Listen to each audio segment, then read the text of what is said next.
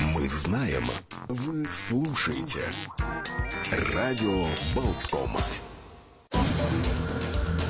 Утро на Болткоме. Продолжается утро на Болткоме. Олег Пика и Александр Шунин в студии. Мы погов... Ну, продолжается и не только наш эфир, но и э, купальный сезон, и туристический сезон. Но туристы очень-очень обеспокоены сообщениями о нападениях акул в Египте, в частности в районе Хургады.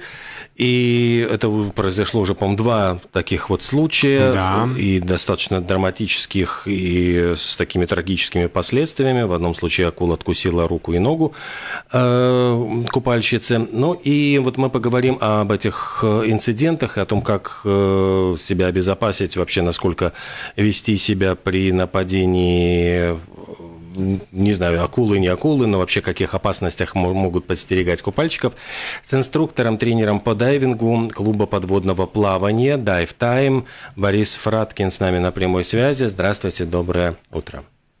Доброе утро. Доброе утро. Давайте начнем а, с главного. Есть ли опасность э, сейчас ехать в Египет? Стоит ли сдавать путевки, раз там э, появились акулы?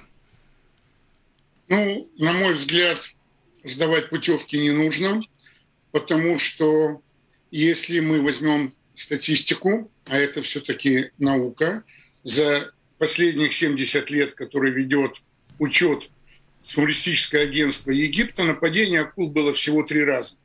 Три раза и пострадало четыре человека, включая вот этих два последних случая трагических. Если мы посмотрим статистику при посещении Египта туристами в том числе дайверами, просто отдыхающими, ну, где-то по 8-10 миллионов человек в год, и посчитаем процент, то мы поймем с вами, что это скорее не правило нападения акул, это скорее исключение из правил, в котором, в частности, так скажем, виноваты и просто мы сами виноваты люди. Ну, есть же, да, действительно какие-то э, правила, в том числе купания в Египте. Там есть запрет на ночное купание, например. В одном из случаев он был 100% нарушен. А какие есть еще э, вот эти вот строгие ограничения, строгие нормы, которые необходимо соблюдать? Ну, скажем так. Во-первых, если люди просто туристы, которые приехали отдыхать, они должны купаться на огороженных пляжах отелей, где стоят буи сетки, которые не позволяют дикой рыбе заплывать на эти пляжи, и они как-то их огораживают. Да? Второе и главное правило – не нужно лезть к рыбам, не нужно лезть, э, пытаться их покормить, пытаться всунуть им в рот сосиску или булочку, или яйцо, взятое с завтрака – потому что все-таки это рыбы дикие, они привыкли сами себе, э, скажем так, добывать корм, и это их отчасти выводит из себя. Также нельзя загонять рыбу в угол и не давать ей шанса уйти. Рыба, любая рыба, в том числе акулы, они понимают, что мы не являемся их пищевой цепочкой, что мы все-таки стоим выше их, и рыба никогда не нападет, если у нее есть шанс уйти.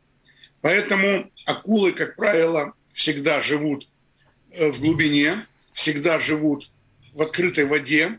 И подход к пляжу, скорее всего, как я уже говорил, это вина наша, потому что мы прикармливаем рыбу, мы кидаем ей еду, рыба в какой-то момент понимает, что нет смысла гоняться за едой в открытой воде, когда можно подойти к пляжу.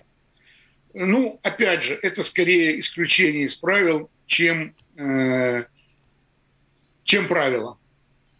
А скажите, вот часто появляются фотографии, где дайверы фотографируются с акулами, там очень популярные снимки, там селфи или там кто-то делает со стороны, но э, насколько вообще вот, э, ну, понятно, что дайвинг является тоже одной частью вот развлечения туристов, которые приезжают отдохнуть, э, в, в том числе в Египет. Вот насколько разрешается, есть ли какие-то градации, с какими акулами, ну, с, как, с какими, с какой живностью можно фотографироваться, можно обниматься, можно подплывать близко, а какой лучше вообще не соваться? Э, конечно же, есть. Обниматься вообще ни с какой живностью не нужно. любая, даже самая маленькая рыбка, которая от вас не уплывает, она может быть ядовита. Убить она вас не убьет, но все не умеют себя защищать. Это море. Каждый рачок, каждая рыбка. Конечно же, есть акулы более опасные, да, такие как белая знаменитая акула, как, скажем, тигровая, как бычья да, акула. И есть акулы менее агрессивные, это акулы-няньки, рифовые. Но никто вам не даст гарантию в том, что самая безобидная акула-нянька на вас не нападет, и белая акула может спокойно проплыть опять же мимо. Это не фильм «Челюсти», где всех там она кушает, да? Это просто, опять же, я повторюсь, если рыбу поставить в безвыходную ситуацию, она, конечно же, нападет. Э, мы очень часто ездим, ездим много, ездим любоваться акулами, потому что это действительно очень красивое зрелище – когда в открытой воде э, идет акула, сразу вспоминается выражение акула бизнеса, акула шоу-бизнеса, акула там, монстр. Да, это очень красивое, грациозное зрелище, но подплывать к ним и обниматься с ними, конечно же, не нужно. Фотографировать, да, издали. А Все-таки, возвращаясь в Египет к этим двум случаям, на ваш профессиональный взгляд, э, что могло спровоцировать нападение? Э, ну, если мы почитаем прессу, там уже выступает очень много экспертов. С какими-то я согласен, с какими-то нет, но мое мнение, опять же, это лично мое мнение. Э, скорее всего, что спровоцировали вот эти овцы, которых выбрасывают.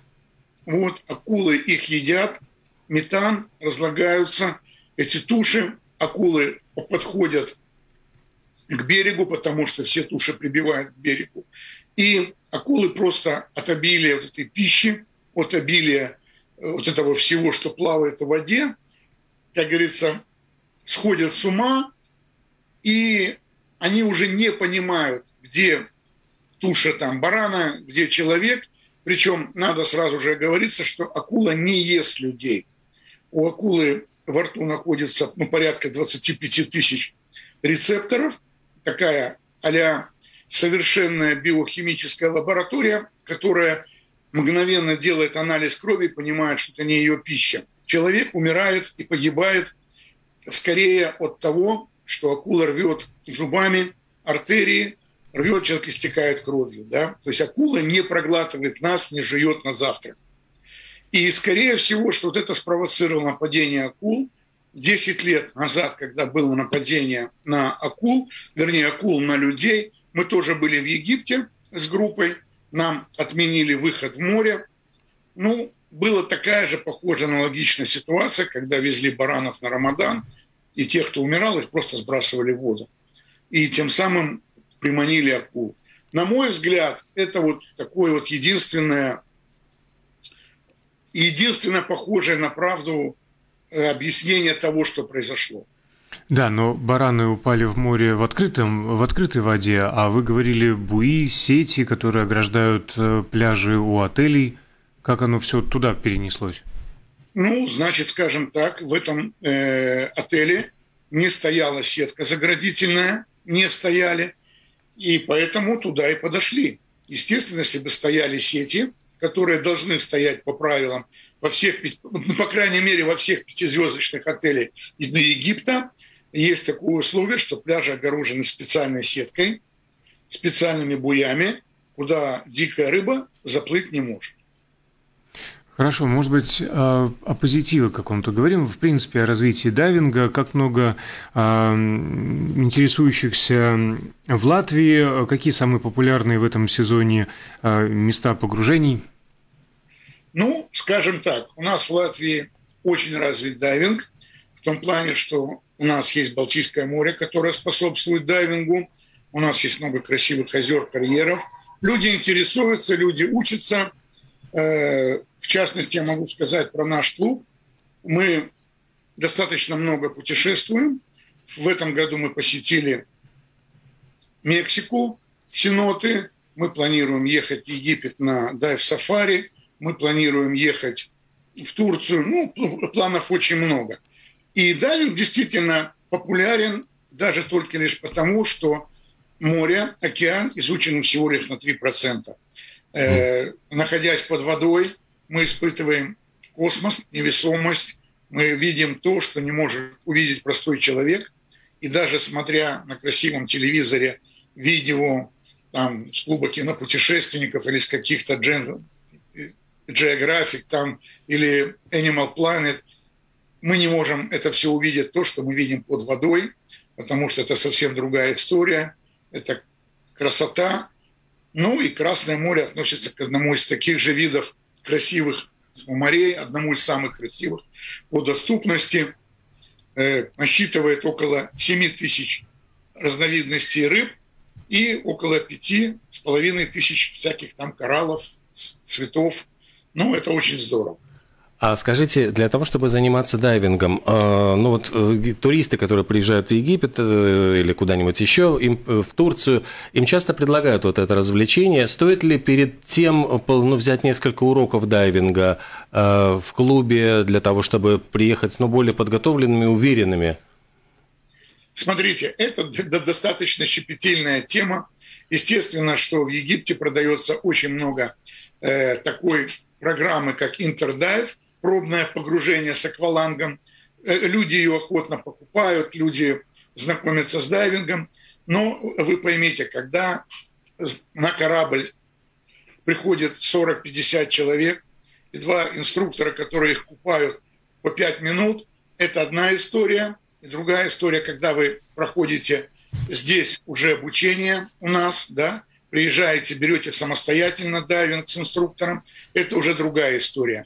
Конечно же, э, на мой взгляд, стоит пройти что-то здесь, да, какие-то программы. У нас есть ознакомительные программы, у нас есть пробное погружение для, для того, чтобы, приехав в Египет, вы уже не концентрировались на том, смогу ли я дышать под водой, а просто наслаждались тем, что вам предстоит увидеть. Безусловно, стоит. Вы упомянули Мексику, Красное море, различные направления.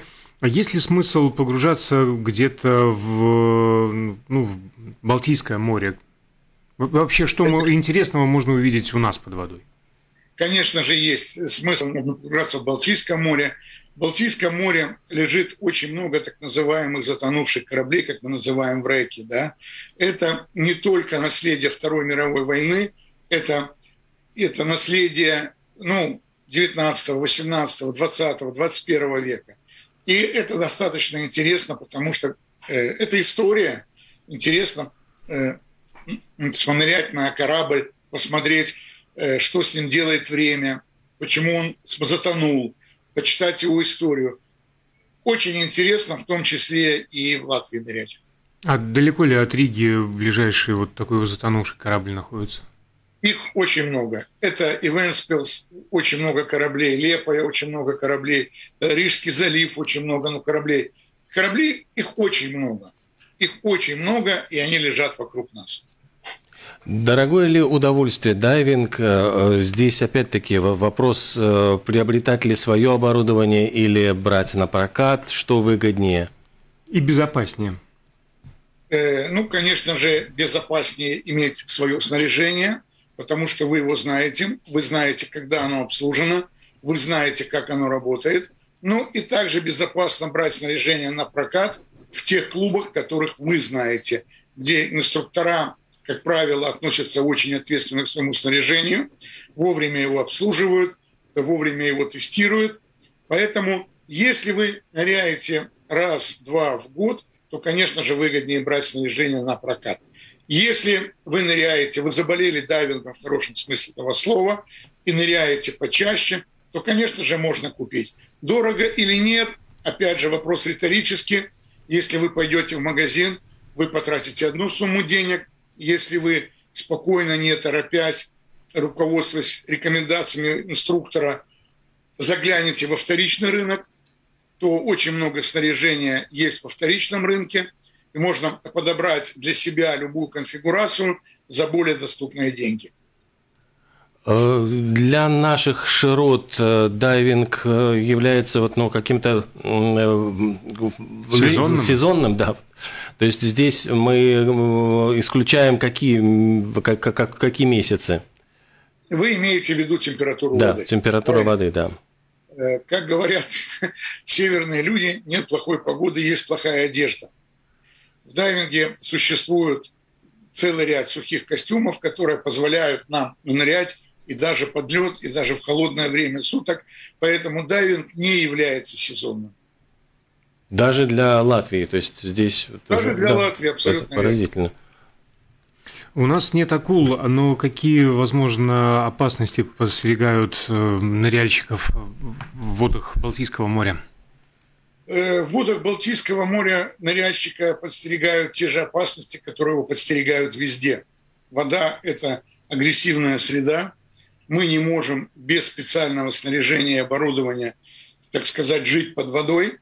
Поэтому э, дайвинг опасен тем, что еще раз подчеркиваю, мы находимся в агрессивной среде.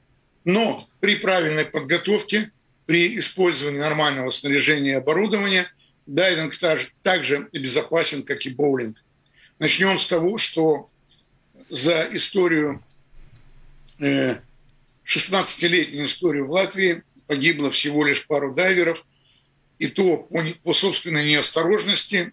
И опять же, если мы возьмем статистику, сколько в Латвии людей погибло под колесами автомобилей от болезней, от, извините меня, плохой водки и от всего прочего, то дайвинг находится ну, очень приглядном ну, в положении.